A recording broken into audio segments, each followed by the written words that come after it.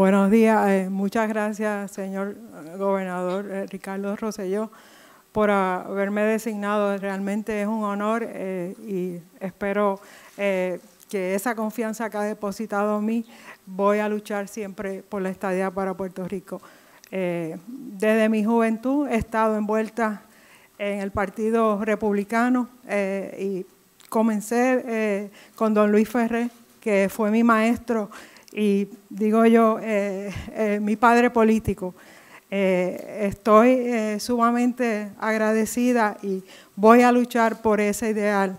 El Partido Republicano en su plataforma apoya la estadía para Puerto Rico y siempre ha estado comprometido con la estadía para Puerto Rico.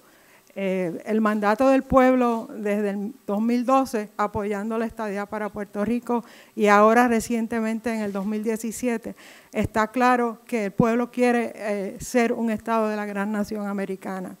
Nosotros lucharemos en esta comisión eh, con distintas estrategias, llevando a cabo no solamente en el Congreso, sino en las agencias federales para llevar a cabo ese sueño que queremos que se convierta en realidad. Eh, estamos dispuestos todos, ¿verdad? Esto va a ser republicanos y demócratas, todos juntos, trabajando por lo que queremos y lo que anhelamos, la estadidad para Puerto Rico.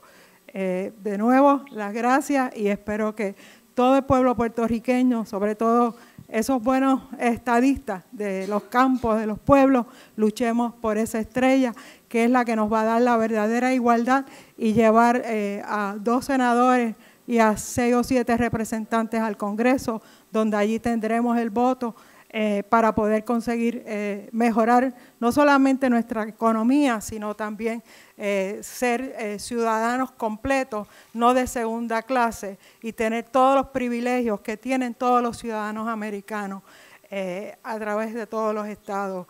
Y también estoy muy contenta de defender a los militares que han dado su vida por, por por la nación y no tienen ese derecho al voto. Así que de nuevo eh, espero ¿verdad? luchar y conseguir en esta comisión eh, todo lo que el gobernador entiende y ayudarlo en todo lo posible para mejorar no solamente la economía de Puerto Rico, sino también conseguir eh, la estadidad para Puerto Rico. Muchas gracias.